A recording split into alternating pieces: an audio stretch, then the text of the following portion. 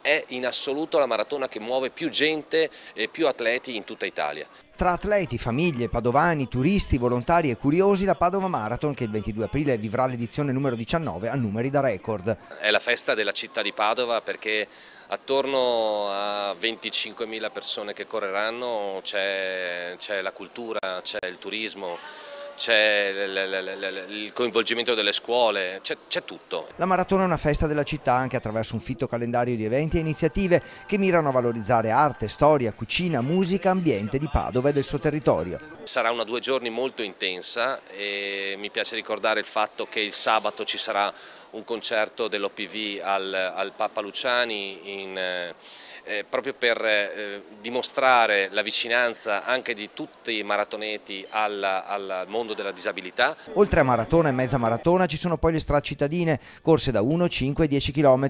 La novità è una medaglia di partecipazione per tutti e poi un concorso per le scuole, visite guidate alla città, una nuova scarpa tecnica studiata dalla scuola di design della calzatura, una manifestazione impegnativa anche sotto l'aspetto economico ma le risorse e la sensibilità di aziende e volontari non mancano senza eh, chiaramente gli sponsor, senza APS, senza East Energy, senza Ali, senza tutti questi sponsor probabilmente non, non, non, si potrebbero fare questi eventi di questo genere qui. Ma ancora più fondamentali sono i volontari, ancora più fondamentali sono tutte le persone che staranno nel circuito per eh, transennare, transennare il percorso, perché senza di loro non si potrebbe fare la manifestazione. Infine sono previste la messa al santo per sabato sera e una serie di iniziative per il risparmio energetico e la solidarietà.